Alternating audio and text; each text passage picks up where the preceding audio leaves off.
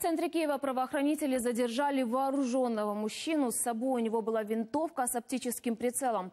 Как выяснили, направлялся он к Верховной Раде, где разбит палаточный городок. Зачем шел туда с оружием и что происходит в рядах пикетчиков в нашем материале? У нацполиции установили, что задержанный приехал в Киев из Одесской области. Оружие купил там же несколько дней назад. Причем помимо винтовки с оптическим прицелом, у него взяли также пистолет, нож и даже радиостанцию. Зачем он направлялся с таким арсеналом на мирную акцию протеста, выясняют не только полицейские. К делу подключились и в СБУ. Він зараз знаходиться в районному управлінні. Порушено кримінальне провадження, відключені е, працівники Служби безпеки України. Ми з'ясовуємо, для чого він йшов. У нього була ще радіостанція вилучена.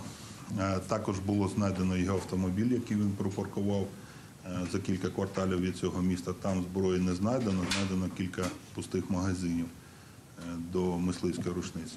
В самом же палаточном городке, куда направлялся вооруженный мужчина, сейчас обстановка спокойная. Но по данным СМИ между пикетчиками произошел раскол. Теперь у здания Рады только бойцы Добровата Донбасс, который привел на ДЭП Семенченко.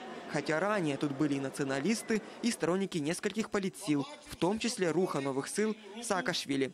Именно он внес раздор в ряды митингующих. Впрочем, его роль в итоге оказалась не столько решающей, сколько комичной. В четверг он призвал участников акции протеста к трем заявлениям ранее требованным – отставку президента. А этого многие митингующие не поддержали. Саакашвили и речи пламенной говорил, и с народом обнимался.